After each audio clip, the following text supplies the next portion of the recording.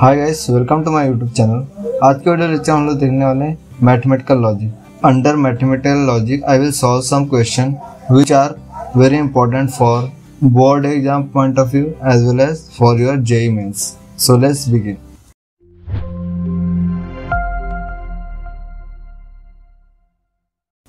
Question first is, assuming that the following statement are true. So, first statement is, Sunday is a holiday. And statement Q is Ram does not study on a holiday. So find the truth value of the following statement. यहाँ पे जो following statement है उनकी truth value find out करना है तो first statement is Sunday is not a holiday और Ram studies on holiday Second one is if Sunday is not a holiday, then Ram study on a holiday. Third one is Sunday is a holiday and Ram study on a holiday. So अभी ये जो three statement है, इनका P and Q का use करके इनकी truth value find out करेंगे। So question first is Sunday is not a holiday और Ram study on a holiday इसका सिंबॉलिक फॉर्म क्या होगा? संडे इज़ अ हॉलीडे ये ट्रू स्टेटमेंट है बट यहाँ पे नॉट कंट्री इसलिए निगेशन आएगा।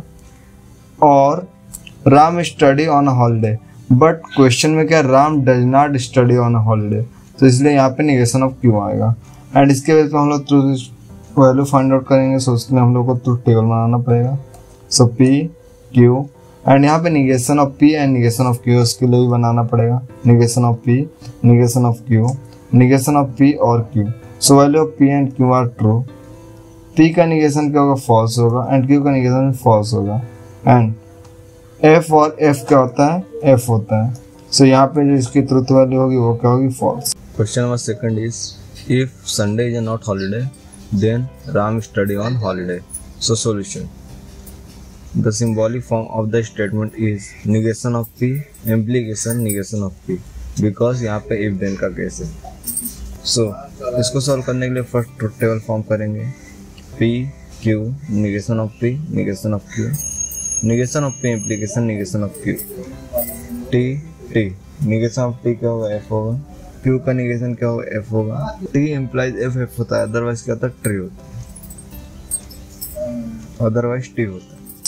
Question third is, Sunday is a holiday and Ram study on a holiday. So, solution. अब यहाँ पे इसका सिंबॉलिक फॉर्म में क्या होगा? P and negation of Q. T. P, Q. Negation of Q and P and negation of Q. T T. Negation of T का क्या होगा? एफ़ होगा। एंड यहाँ पे क्या होगा? F why because T and T T होता है। तो यहाँ पे जिसकी ट्रुथ वैल्यू होगी, वो क्या होगी? फॉल्स होगी। Question number second is if P equal to he swim and Q is water is warm so यहाँ पे जो स्टेटमेंट है, इसका वर्बल फॉर्म में लिखने का है।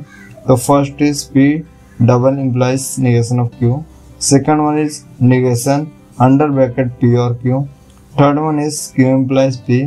Fourth one is Q and negation of P. And अब यहाँ पे जो कनेक्टिव है इनको हम लोग क्या करेंगे? वर्बल फॉर्म में लिखेंगे। इसके प्रीवियस हम लोग ने क्या किया? कि हम लोग को वर्बल फॉर्म में दिया हुआ था और हम लोगों ने उसके कनेक्टिव लिखा था। So first is P double implication negation of Q यहाँ पे डबल इम्प्लीकेशन है एंड क्यू पे क्या निगेशन है? तो स्टेटमेंट क्या होगा? He swim if and only if water is not warm second in negation and under bracket P और क्यू सो यहाँ पे जो निगेशन है, वो दोनों स्टेटमेंट के लिए होगा।